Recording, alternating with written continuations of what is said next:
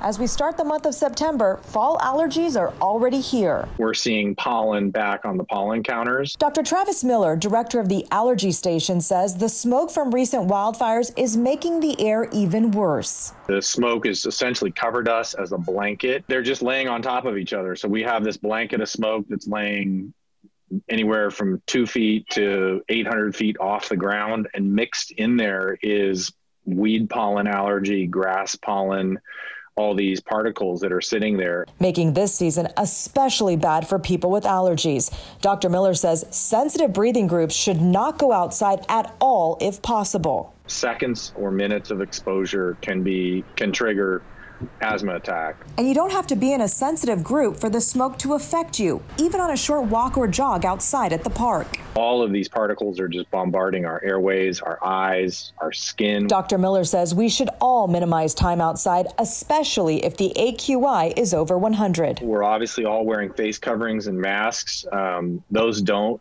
um, take out the PM 2.5, the small particle. During this pandemic, you may be wondering how do I know if a cough or itchy throat is allergies and smoke related or COVID 19? One defining symptom that I think could separate you probably won't have a fever with smoke inhalation. That's a very uncommon symptom of smoke inhalation. But Dr. Miller says if you have a fever, cough, and shortness of breath, you should definitely contact your doctor. In Sacramento, Lisa Gonzalez, KCRA 3 News.